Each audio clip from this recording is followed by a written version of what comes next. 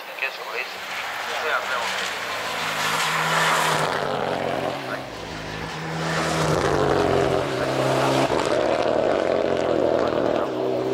Cieľi dnešných pretekov.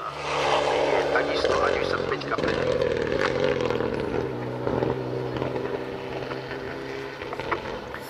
My si počkáme na čas 95 Tomáša Konečného so svojím Subaru VRX, či to bude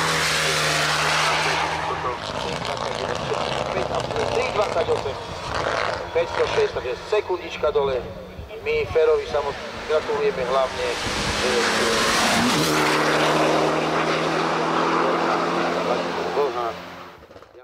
V skupine N na treťom mieste Tomáš Vavřinec, Česká republika, Mitsubishi, druhý Filip Seiler, Česká republika a víťazkou v tejto skupine je Gabriela Seilerová.